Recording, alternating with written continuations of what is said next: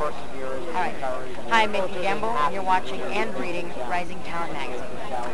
All right, can you tell us more about Dolphin Tale, the movie, and your character?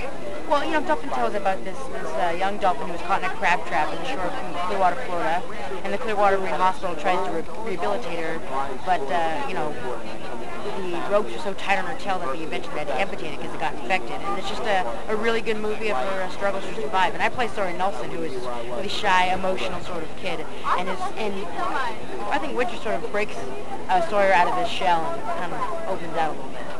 Great. Can you tell us um, how you were inspired by the movie?